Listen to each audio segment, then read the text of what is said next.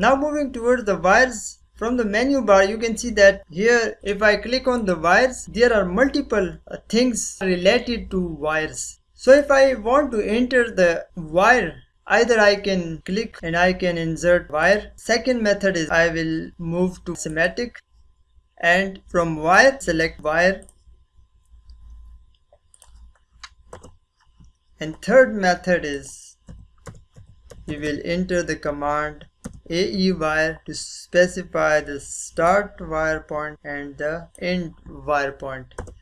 It's horizontal wire. Now I want to move it to some angle but it is not drawn in other angles except horizontal or vertical. You can see that my orthogonal is off and if I make orthogonal on then also not, cannot be drawn in different angles.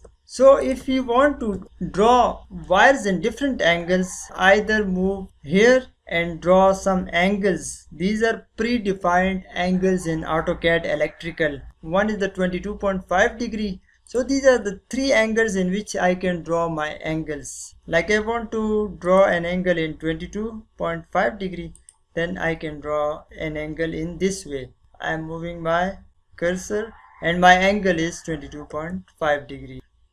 In this way we can draw uh, angular wires.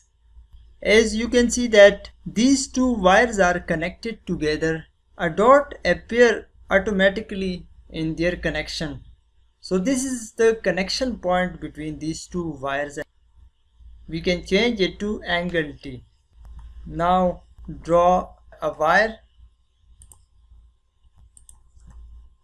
Make orthogonal off. Pick this wire from here by clicking the mouse right key and move it to any location so I can rotate to any angle I want to rotate this wire. I can rotate these wires manually or I can even extend or compress this wire.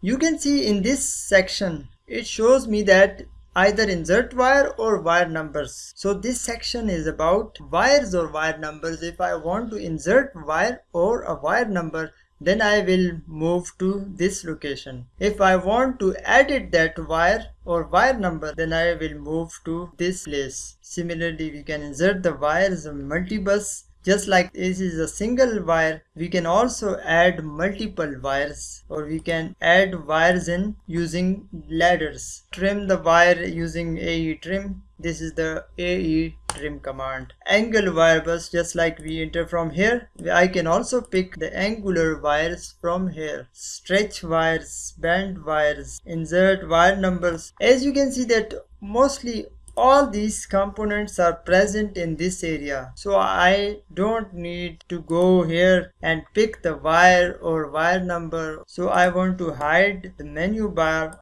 as I don't need the menu bar right now.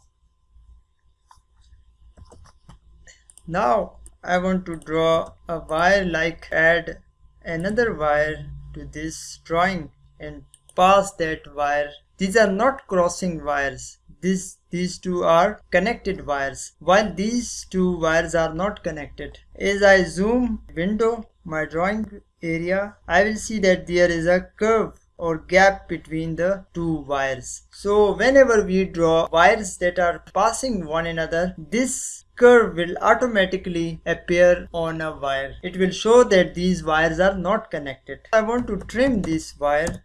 The dot appear here now I want to trim this wire. I will trim this wire in multiple command.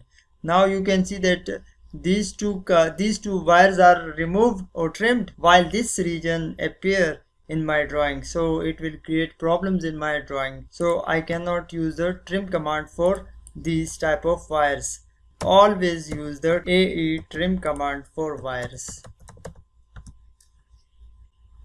This is trimmed and now the whole wire is trimmed